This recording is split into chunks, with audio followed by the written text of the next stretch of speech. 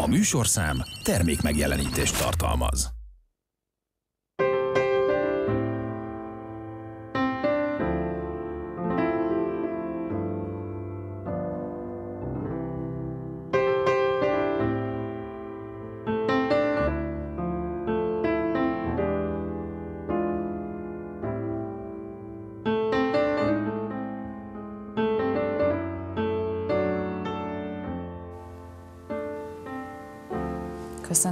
Nézőket. Állatszeretet, gondviselés, segítés, nehézségek, sikerek és örömök, azt hiszem nem árulunk el nagy dolgot azzal, hogyha ezeket a jellemzőket mondom, akkor sokaknak eszébe juthat Székesfehérvár, azon belül az Aska, Molnár Tamásné, vagy ahogy sokan-sokan ismerik, Zsazsa, ugyanis most őt hívtam vendégségbe hozzánk. Ugyan ezeket a jellemzőket sokan ismerhetik, de talán mondjuk a gyermekkorodat még nem. Köszönöm, hogy itt vagy. Szia, és köszöntöm a nézőket is. Valahol én be vagyok kódolva a kutyákra, tehát ez derült ki nekem az életem során, mert én gyermekkoromtól kezdve nem ide, én tanárnak készültem méghozzá magyar történelem szakosnak, mert volt egy tanárom, aki elindított abba az irányba. Tehát nem gondoltam én soha azt, hogy esetlegesen egy menhelyet fogok vezetni, de már tíz éves koromban kóborkutyákat szedegettem a barátaimmal együtt, és azóta volt az, hogy, hogy én nagyon szeretem a kutyákat, és valami oknál fogva a kutyák is nagyon szeretnek engem. Megtalálnak, amerre járok, mindig megtalálnak, úgyhogy igazándiból nekem ilyen 10-11 éves koromtól indult ez a kutya őrület, amikor már, már a kóborkutyákkal nekem sikerült összetalálkoznom. Négy évtized az állatvédelemben. Igen. Még mielőtt visszaugrunk időben a gyermekkorodhoz, hogy lehet ezt lelkileg és idegileg bírni? Nem könnyű, nagyon meg kell edződni. A, nagyon sok mindent kellett ahhoz látnom, én nem szoktam mondani, hogy igazándiból én már nem tudok sírni a műtőasztal mellett, maximum csúnyákat mondani. Tehát meg kellett edződni, és valahogy a fejembe azt átrakni, hogy nekünk nem az a dolgunk, hogy ájuldozzunk, vagy, vagy bármi egyéb, hanem az, hogy hogy tudjuk a lehető leggyorsabban a fájdalmat megszüntetni. Tehát nekünk mindig az a, az a, az a dolgunk, hogy amikor egy, egy sérült, bántalmazott állatnál vagyunk, mi az, ami a legfontosabb az első percben, amit tennünk kell, aztán utána ráérünk mi ott mindenfélevel foglalkozni, csak a fájdalom csökkenjen. Én nagyon sok mindent láttam, és azt az egyet nem tudom elviselni, amikor, amikor uh, indokolatlanul fájdalmat okoznak uh, bárkinek, de legyen szó emberről, állatról, tehát ez mind a kettőre vonatkozik ugyanúgy. Hoztál magaddal egy nagyon kedves vendéget hozzánk, mutasd be kérlek őt, mert hát neki sem indult egyszerűen az élet. Ő Bogyó, Bogyó tulajdonképpen nagyon rossz helyről került be a menhelyre. 2017-18-ban valahogy így került be, és kaptunk egy ilyen igazi, loncsos, bozontos, nagyon elhanyagolt, nagyon rossz állapotban lévő kutyát, ugye ő most éppen rövid nyári hajjal van, de amúgy neki hosszú szőre van, és úgy kell elképzelni, hogy össze volt rasztásod, és húzta maga után ezt a rasztás szőrt, amin ült két gyerek. Mert hogy Bogyónak voltak gyereke is, nem egyedül jött, mindjárt hozta az utánfutóit, és hát elsőben az volt, hogy á, innen maradhat a kutya, ebben minden lehet, a, a kukasztól a bolháig bármi, úgyhogy mindjárt le lett nyírva, hogy ez meg lett fürdetve, kirakták a csajok, ilyenkor nyáron az van, hogy vannak felállítva mobilkenelek, és akkor a fürdés után oda félányékba beülnek a kutyák, mondjuk szárítóba. Aha. És a bogyó is beült a szárítóba, majd néhány perc múlva megjelent a lábam alatt az irodába. Ügyesen mondtam, jaj, rosszul csukták be a kenelt, megfogtam, visszavittem, beraktam. Tíz perc hogy ismétben volt a lábamnál. Ezt pont négyszer játszotta el, kinyitotta, profi módon nyitja a kenelt. Pont négyszer elkövettem, majd fölvettem a telefont, és hazaszóltam, hogy viszek egy kutyát, mert úgy látom, ő kiválasztott, és ő tényleg a matricám. Tehát Bogyó az első perctől eldöntötte, hogy én leszek a mamája, és hát otthon ugyanezt műveli, csak az a baj, hogy otthon többen is vannak, tehát képzeld, amikor hazamegyek, akkor mindenki így az ölembe pattan, és mindenki pont így küzd, hogy csak vele és csak ráfigyeljünk. Aztán Bogyót befogtuk dolgozni, és azért mondtam neked, mikor jöttünk, hogy ő már nyugdíjas, mert hát Bogyó is végig dolgozta velünk a, az elmúlt éveket. Az ő specialitása a gyerekek és az idősek voltak, tehát amikor idős otthonba mentünk, nénikhez, bácsikhoz imádták simogatni, és ő nagyon, nagyon jól bánik a gyerekekkel. ovikba, mikor kint voltunk, akkor mindig így a gyerekek szépen leültek egy-egy kis körbe, és úgy képzeld hogy nekem eszembe se jutott erre figyelni, egy óvónéni hívta fel rá a figyelmemet, hogy észrevettem, hogy a kutya addig nem megy tovább az adott csoporttól, amíg mindegyik gyerek meg nem simogatta. És ha volt olyan gyerek, aki bátortalan volt, akkor addig bújt, kúszott, várta, és amikor megtörtént az a bizonyos simi, akkor tovább ment a következő csapathoz. Úgyhogy nagyon-nagyon jó érzéke van, csak hát pont azért, mert rossz helyről ö, került hozzánk, a korával együtt előjöttek a problémák, úgyhogy ő már nem dolgozik, bár nem látszik öregnek, meg, meg teljesen jó van, de ha mondjuk valaki rosszul nyúl hozzá, akkor már, már a fájdalmak vannak, és mondjuk képzeld el, mikor éppen mesélünk a gyerekeknél, és valaki úgy oda akarja húzni, ő meg fölsikít, akkor baj van.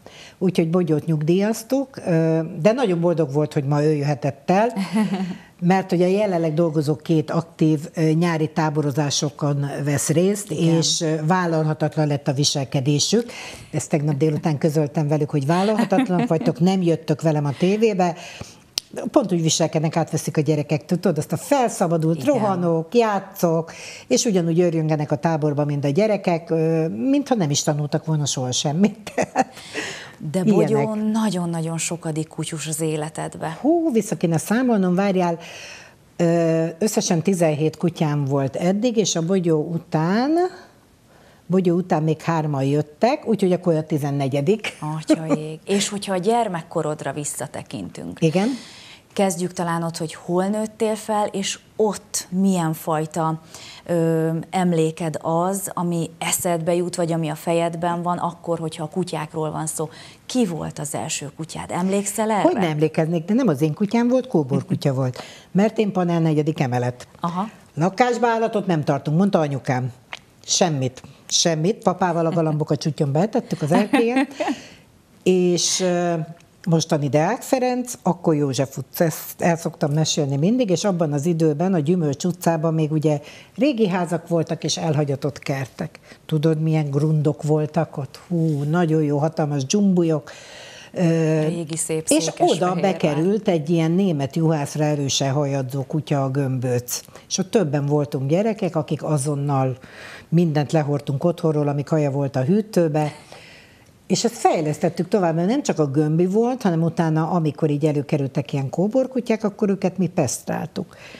És volt egy doktorbácsi, ott a negyedik emeleten lakott a Csaba doktorbácsi, aki pedig beoltotta a kutyákat, és én akkor kezdtem el megtanulni a kutyabetegségeket és egyebeket. Akkor nagyon korán. Nagyon korán. Nagyon korán keresztapám, aki most már 90 éves, még mindig emlegeti, hogy emlékeztek, amikor a gyerek mondta, hogy be kell oltani a szopornica ellen a kutyát, és mindenki kinevette, pedig én akkor már tudtam, hogy igen, olyan, hogy szopornica létezik és van. Tehát ebből a szempontból nagyon korán belekerültem, de ez nem volt folyamatos. Mert ugye ott akkor volt egy időszak, kutyáztunk, aztán vége volt az általános iskolának, jött a középiskola, volt egyéb gondja az embernek, akkor úgy megint elment. Aztán később, amikor már, már családom volt, akkor megint visszakerültem, és akkor igazándiból nekem ismerőseim az akkori Hérosz vezetése, és az első családi kutyánk, a Pamacs, aki pont így nézett ki amúgy, mint a bogyó, csak egy agár méretbe kell elképzelni, de ugyanezek a pöttyei voltak, tehát olyan, mint a Pamacsnak a reinkarnációja amúgy. És ő volt az első családi kutyánk, őt a Héroszon keresztül nem volt menhelyes, hanem ilyen közvetített kutya.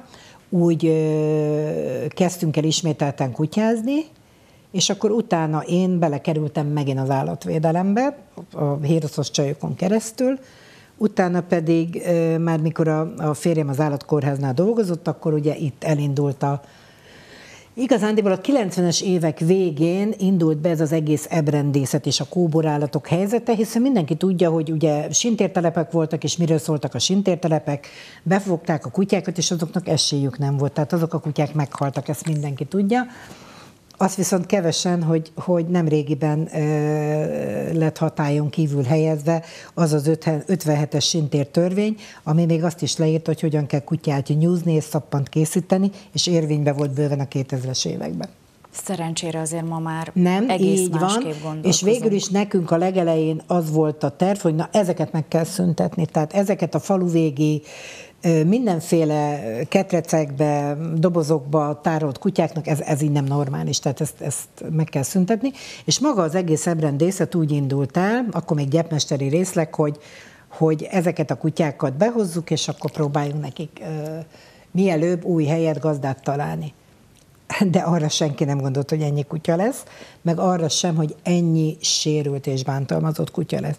És igazándiból ugye az aska, az úgy jött létre, hogy állatorvosok alapították meg ezt, a, Igen. ezt a, az alapítványt, ami aztán végül utána felépítette magát a menhelyet, mert az elsődleges cél az volt, hogy amikor most bejön egy balesetes kutya, kifizeti ki a, a kezelését.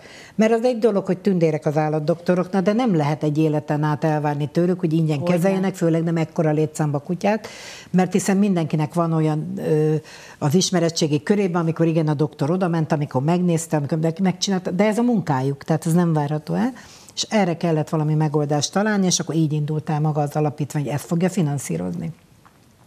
Aztán nagyon sikerült magunkat kinőni, és jelenleg ott tartunk, hogy, hogy konkrétan hét megyébe vagyok én a hatósági telepnek a vezetője, hét megyéből jön hozzám minden olyan állat, aki ellene, akinek a gazdája ellen eljárás folyik. És ezek a kutyák a gyepiről, mert első körben a gyepire jönnek be, Igen. kerülnek át az askára. Tehát aki nem megy haza, eredeti gazda, mert hát ugye olyan is előfordulhat, hogy kinyílt a kapu, vihar volt, bármi. Persze. én azt szoktam, egyszer mindenki elhagyhatja a kutyát, igen, egyszer, igen. másodszor már harapok, tehát igen. egyszer még, még megbocsátható a dolog. És akkor hát így, így szépen a, a kutyák elkezdtek gyűlni az askán, aztán meg kellett tanulni örökbeadni, meg kellett tanulni igazándiból annyi dolgot meg kellett tanulni, az, hogy nekem magába a civil szervezet vezetésében már már volt némi tapasztalatom, hiszen én előtte is civil szervezetet vezettem, a Sinoszt, a Siketek is nagyot hallok, Fejér megyés szervezetét. Tehát az, hogy hogy működik a civil, az, az már nekem megvolt.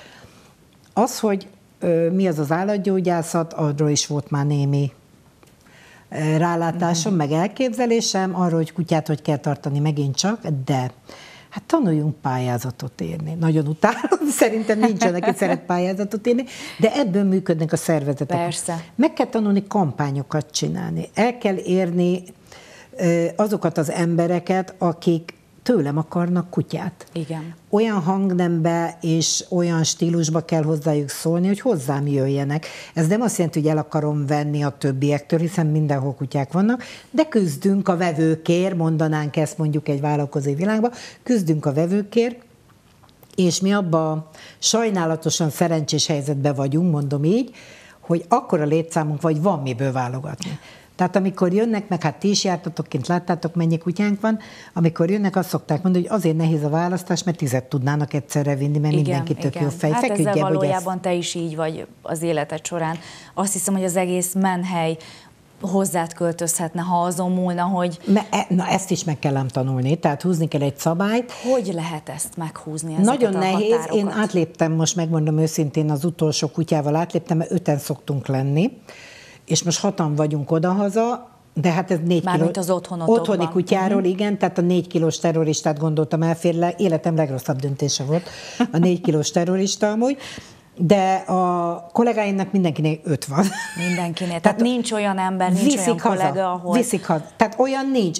Nincs olyan asszisztens a kórházban, nincs olyan állatorvos, akinek nincs aska kutyája. Csak az forog a fejemben, Zsazsa, hogy hogy kell ezt csinálni, még mindig ezen kattogok kell annyira szeresd az állatot, hogy ezt tud csinálni nap, hogy mint nap a kenelekbe. A, vagy pont ez, hogyha megfordítjuk, hogy, hogy el kell tudnod engedni. Úgy, hogy úgy kell szeretni. Ez? Én azt látom amúgy a magyar állatvédelembe, nagyon sok kutya bent ragad, nagyon sok kis szervezetnél, vagy éppen olyan civil embernél, aki önkéntes befogadó, vagy egyéb ilyen dolgok. Az a baj, hogy szeretni lehet az állatot. Tényleg úgy, mi is, amíg bent vannak, úgy kezeljük őket, mint a sajátunkat. Mindenkit pontosan úgy, kezelünk. De meg kell tanulni elengedni. Én annyira emlékszem az első időben, amikor az önkéntesek elkezdtek hozzánk járni, azok mindig sírtak. Aha. Ha behoztak egy kutyát, azért sírtak. Ha elvittek egy kutyát, azért Akkor sírtak. Azért. Ők mind, azt mondták, itt állandóan bőgni kell, mert valami mindig történik. És egy idő után hozzáedződsz, és megtanulod, és tudsz neki örülni. És nem úgy adjuk örökbe a kutyákat, hogy akkor hús, vidd, aztán soha többet nem tudunk róla semmit, hanem, hanem folyamatos a kapcsolattartás. Van egy ilyen nyomonkövetés? Hogyne, hogy persze. Van egy ö, csoportunk, az a neve, hogy Aska kutyám van, ott már 6000 nem tudom én hány Igen. ö, gazdi fönt van, és ott jönnek a hírek, a képek.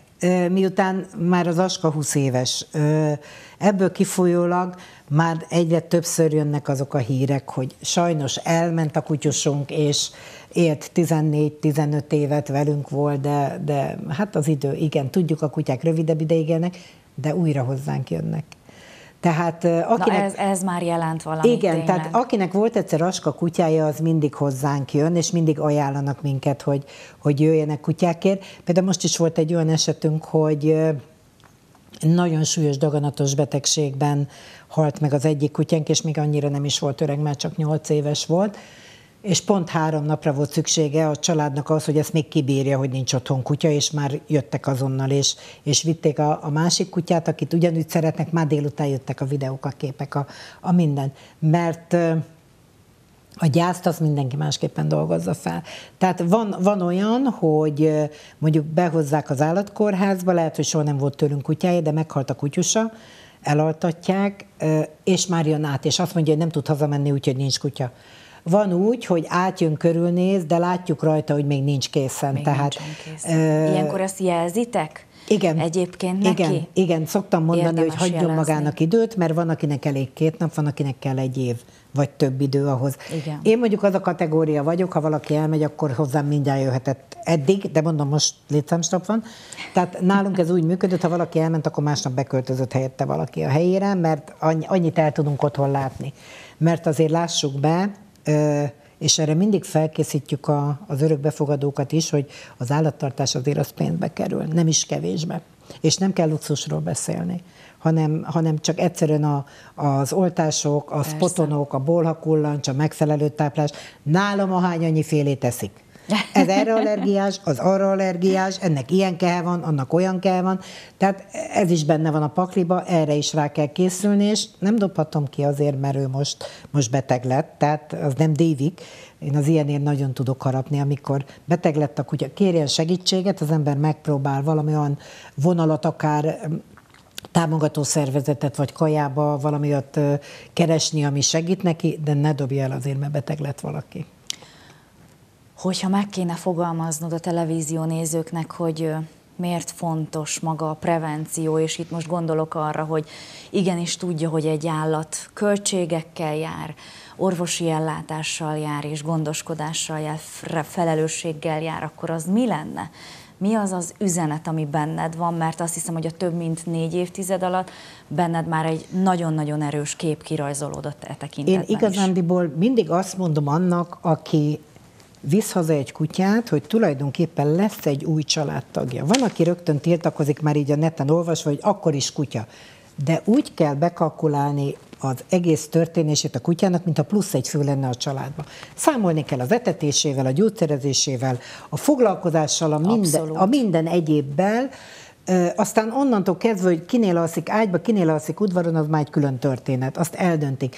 De pontosan úgy kell rá készülni, mintha egy családtag érkezne, hiszen nem véletlen mondják azt, hogy ahogy az ember bánik az állatával, úgy bánik az ember társaival Nagyon is. sokat elárul valóban. Rengeteget, és ez tudományosan is be van bizonyítva, tehát nem, nem csak Gandhi mondja ezt, hanem, hanem ezt tudományosan bebizonyították, hogy akik ugye bántalmazzák az állatokat, előbb-utóbb az embereket is fogják bántani.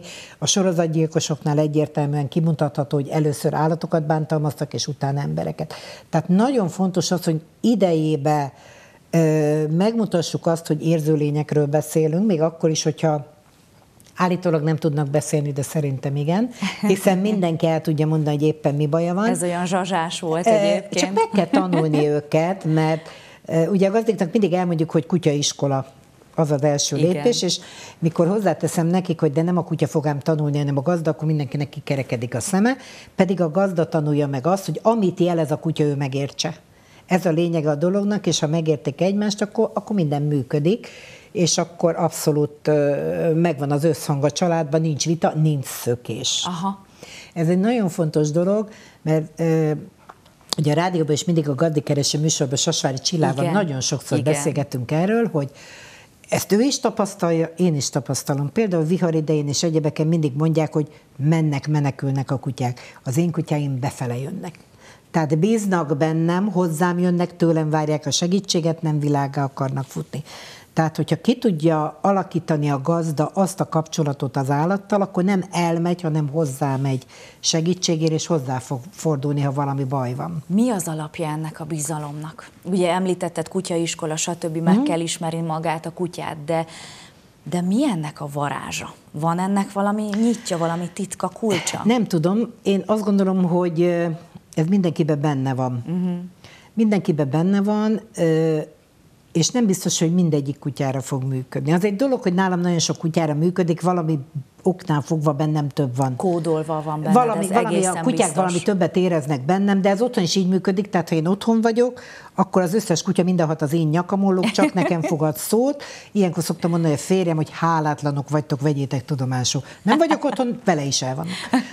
De, de amikor bejön valaki örökbe fogadni egy kutyát, és ahogy megy a soron, mi már tudjuk, hogy kit fog elvinni. Egyszerűen látszik a kutyának a viselkedésén, hogy ez az én emberem, és én fogom ezt az embert, addig, addig teszi veszély magát ott, addig fogod forgolódni, vinnyogni, ugatni, lábat nyújtani, bármit, amíg őt el nem fogják vinni. Tehát tényleg Tudják. igaz ez, hogy ők választanak Tudj, ki bennünket, van. ahogy egyébként ugye utaltál rá, hogy hogy oda ők tudják. Hozzád. Nem tudom honnan, de ők tudják, hogy eljöttek értük, ez az ő gazdájuk, és senki másnak nem fogják odaadni. Elképesztő. Számtalan olyan esetet tudnék mesélni, és írtam le a a daskalandjaimba is, hogy senkivel nem kommunikáltak, ugye még velünk sem.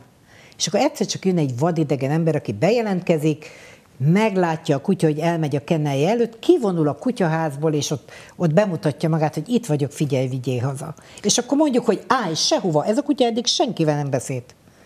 Érdekes egyébként, amit mondasz, és ugye ezt a papírra is vetetted uh-huh. korábban, a könyved kapcsán, vagy a könyvedben. Tehát tulajdonképpen úgy kell elképzelnünk, hogy bár ventillálsz sokszor a család felé, akik egyébként a segítőid, és uh-huh. ott mhm. vannak veled, és viszik tovább ezt az egész szet, ami az állat szeretetről, az ő gondviselésükről szól, de neked kellett egy olyan, amikor papírra veted az érzéseidet, a, az emlékeidet és az élményeidet ebben a könyvben, ami, ben, ahogy olvastam, rengeteg megrázó történet van. Igen, ennek igazándiból ez, ezzel igazándiból nekem egy célom volt, továbbadni a tudást, amit én összeszedtem. Ugyanis az állatvédelem az a rész, amit sehol nem oktatnak. Vannak ilyen-olyan képzések, elmehetünk állatviselkedést tanra, mit tudom én, kozmetikára, kutyakiképzőnek, tanulhatunk pályázatot, tanulhatunk szervezetvezetés, bármit, de azt, hogy ez bennem már megvan, és össze van rakva, és egybe oda tudom adni, és meg tudom mondani azt, hogy most ez a szitu, ezt meg ezt kell csinálni ahhoz, hogy ez működjön, nekem pont ezzel ez volt a célom, illetve én nagyon sokat járok iskolákba oktatni. Aha, igen, igen. Jelenleg nyári táborokban is, amúgy Így ugyanúgy van, oktatunk igen. is, mert ezért ez nekem veszőparipám, hogy, hogy mindig egy kicsi infót adjunk a gyerekeknek, és iszonyatosan jó érzés, mikor mondjuk több táborban is van egy gyerek, és amikor visszajön, látom rajta, hogy mondom, te már voltál. Tudom, de ez olyan jó volt, hogy megint eljöttem. Na, ez és szereti, és érdekli. Múlt héten volt egy csoportunk, tündérek voltak a gyerekek, a kisrác rohant egyik kenetől másikig, és azt mondta, hogy életem legszebb napja, életem legszebb napja. És ez, ez nekünk, ez, ez nekünk egy, egy iszonyatosan jó visszajelzés, mert maga a menhely látványa a legtöbb embernél azért a sírást hozza elő, mert Tényleg úgy néznek ki, mint az árva gyerekek bezárva. Ott ülnek benne a kenejükben, rácsak mögött. Csak hogy ezek a kutyák nem szomorúak. Ezek a kutyák vidámak, ezek a kutyák csoviznak. Ma reggel is, mikor, mikor kezdtünk, negyed hétkor már ott álltak a sétáltatók, jöttek értük, lista a kezükbe, húzták ki, hogy ki volt kint a múlt héten, vagy az előző Igen, nap, hogy és akkor ki kint. az, aki ma megy, és jönnek negyed hétkor hajnalba, mert utána már meleg van, és nem lehet sétálni. Tehát ezek a kutyák abszolút be vannak szocializálva, működnek mindenkivel, aki sétáltatja őket. Két naponta jön mindig 20-30 gyerek, aki hangos, ricsajos, tehát ismerik a gyerekeket is. meg a Fehérvár televízió stábja. Mi, igen, tehát nagyon sokan jönnek hozzánk, és abszolút hozzá vannak szokva ők az emberekhez, és ebből kifolyólag nem az, hogy ül a sarokban egy nagyon szomorú kiskutya, mert nekem az az elvem, hogy úgy, hogy rengetegszer olvasom a neten, altatás elől meg kell menteni, vidd el. Honnan tudja, hogy működni fognak együtt? Az ilyen esetekben nem egy, nem két esetnél voltam kint ilyenkor, amikor altatás előtt mentsük meg, oda vitték a kutyát, nem volt meg az összhang, vagy szökött a kutya, vagy támadt a kutya. Mert, mert nincs meg az, ami kell. A látogatók, mikor jönnek így nekem 86 nevet fölírva, jó, menjünk végig, majd meglátjuk, hogy melyik kutya. Imádom, amikor fölírják a neveket, az egyik 3 kilós, a másik 35 kilós kutya, azt se tudják, hogy melyik, csak úgy, úgy cimpi volt az arca, és akkor mindig mondom, hogy a szemét kell nézni. Semmi egyebet nem kell nézni, csak a szemét, abban minden benne van. És emiatt van az, hogy eljön, hogy már pedig neki kell egy, panelba egy pici kiskutya, majd hazavisz egy nagy kutyát, vagy kell egy hatalmas házőrző, és hazavisz egy ölbe kutyát. Mert a szemébe az van, mint ahogy a bogyó megtalálta bennem azt, hogy én a gazda, és úgy tudott rám nézni, hát akkor még látott, most már annyira nem, hogy tényleg benne volt, hogy te leszel az enyém, és, és veled akarok hazamenni. És azóta is ezt műveli. Folyamatosan. Még a műsor vége felé közeledve kérlek azért emeljük ki, hogy ha már felhoztuk a táborokat, nagyon fontos programok ezek. Igen. Itt a prevenció közvetlenül a cél, vagy, vagy mi az, amit ilyenkor még láttok a gyerekeken, amikor bemennek? Hát mindenképpen az, hogy tanulunk.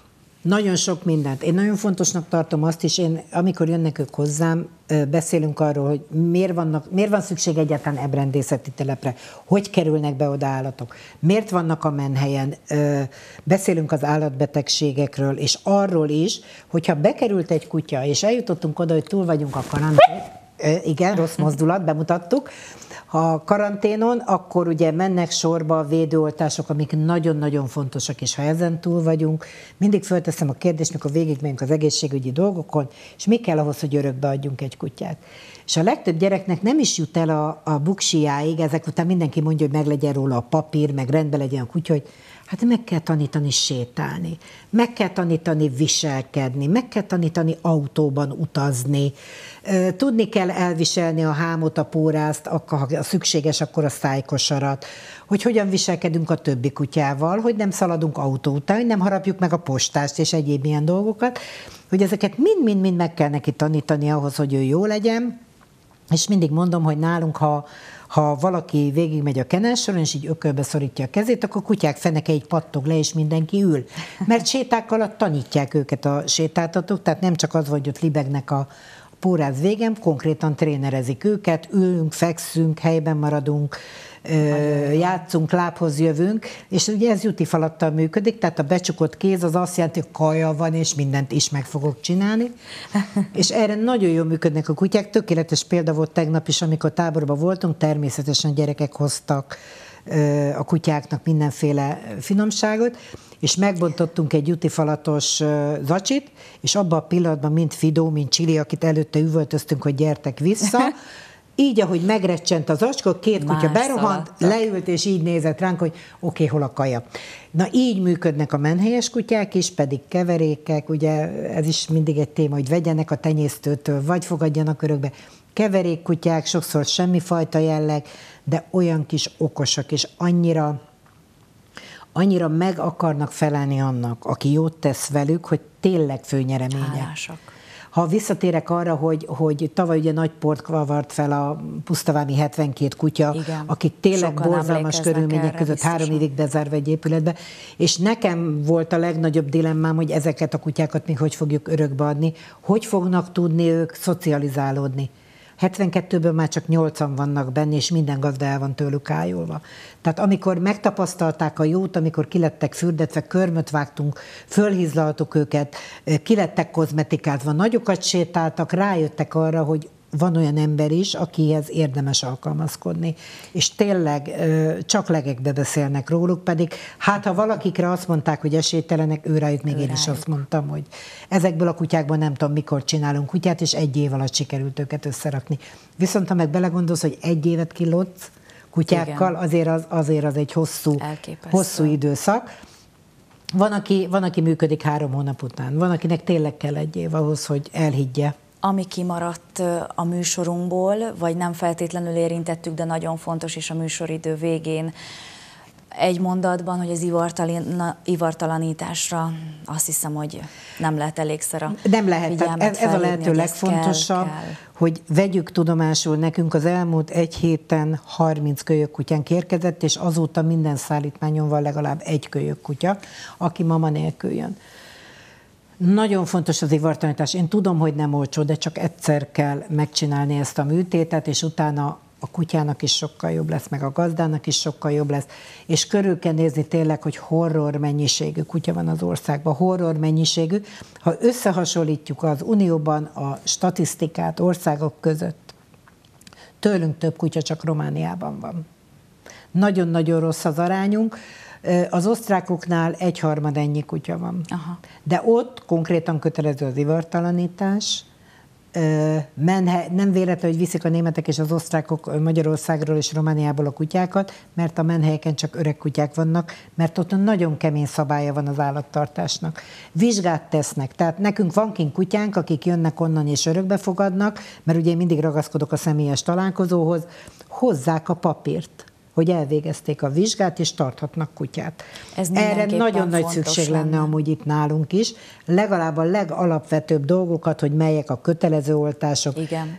A, egy mikrocsip miért mikrocsip. kötelező, tizen nem tudom én hány éve kötelező a mikrocsip, és még mindig a kutyáknak kb. 60% a csip nélkül szaladgál.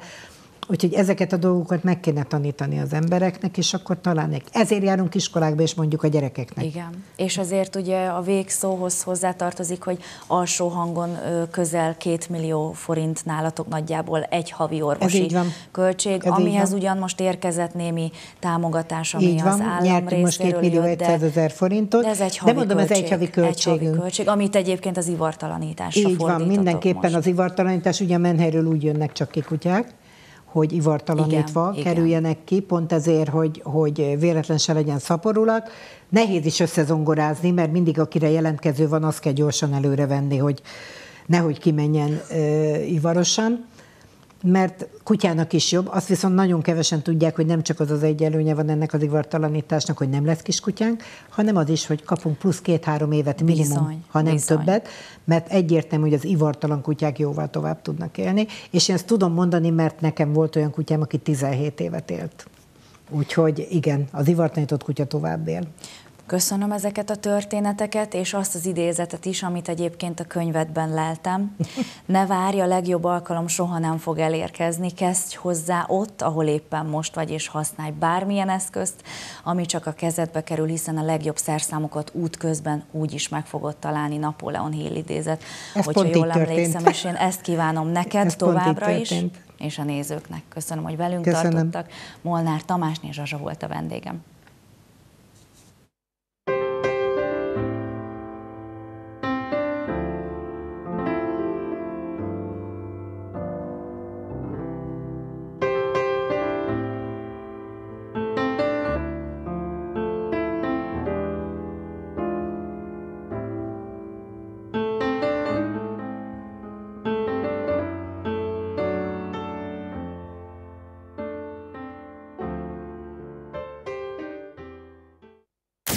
Műsorszám termék megjelenítést tartalmazott.